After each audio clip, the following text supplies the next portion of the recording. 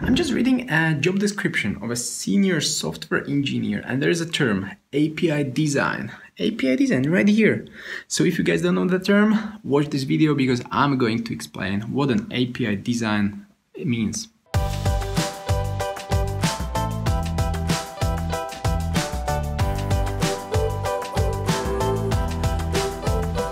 Alright, so we've seen on the job description the term API design, right? And I think uh, it's safe to assume you, uh, you, you hear the term API all over again, right? And maybe you still don't know what it means. So uh, I, I prepared a little drawing to explain why, why do we need APIs and how the APIs are used. So you finally understand what a developer does and, and why, okay? So it's all about interconnectivity it's all about interconnectivity because um, say you have a phone and the phone like this is um, pretty much useless um, after after a few days of being offline right? You want to download emails you want to connect to Facebook you want to um, play a game and then um, connect to a, a, remote player. You want to, I don't know, send a, message on WhatsApp, and all this requires connectivity. So connectivity to either a database or a third-party server, some analytical tool or whatnot.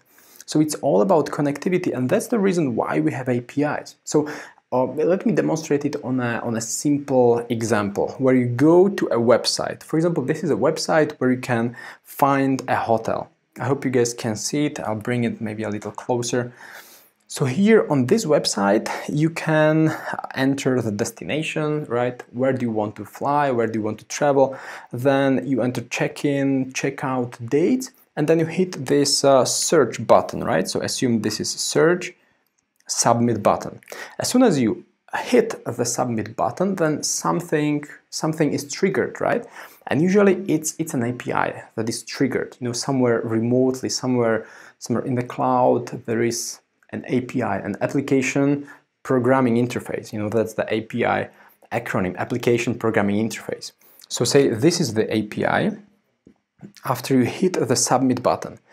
And the, and the API takes your input your input here is the destination, it is the check-in, check-out. You know, the check-in date could be 24th of February uh, 2020.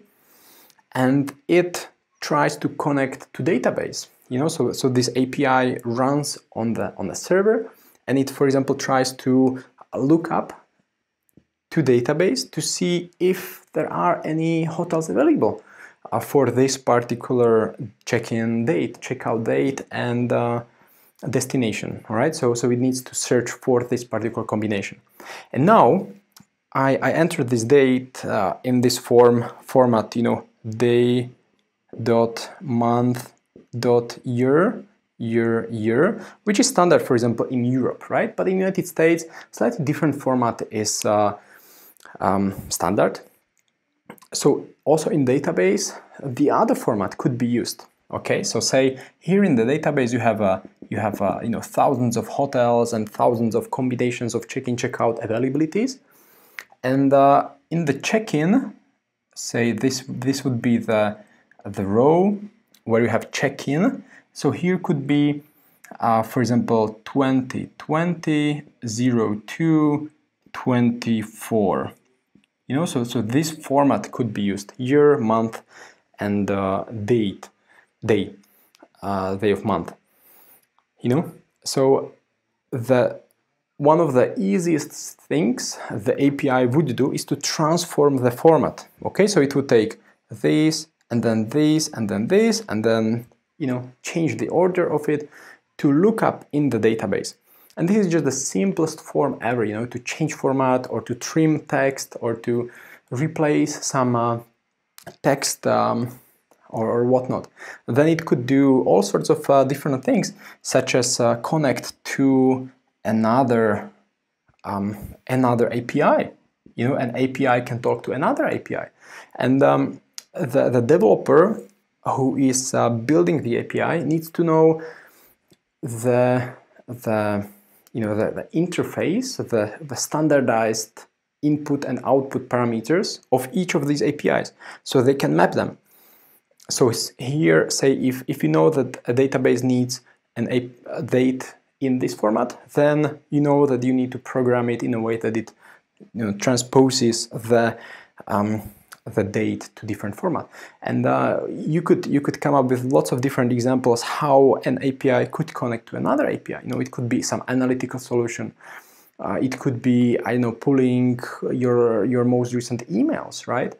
Uh, so you can connect to to your email server. You could connect to you know all sorts of servers. Like to, these days, there are just um, you know there's just abundance of um, of, of APIs. Uh, most of them are say even open sourced.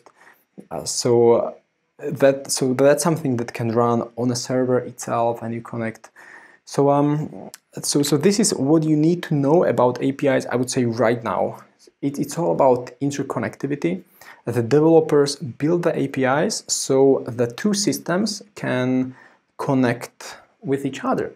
A developer who builds a mobile application needs to work with the backend developer together. So, so, so the developer who builds the mobile application knows the, the attributes of the API. So he or she can adjust the form to connect with the API.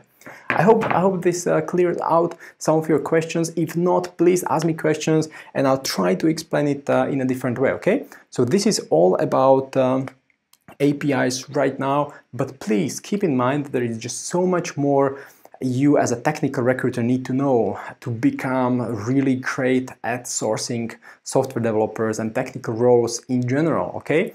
So uh, knowing the technical stuff like this is just the foundation because then you can talk to developers, uh, you can have meaningful conversations with them, right?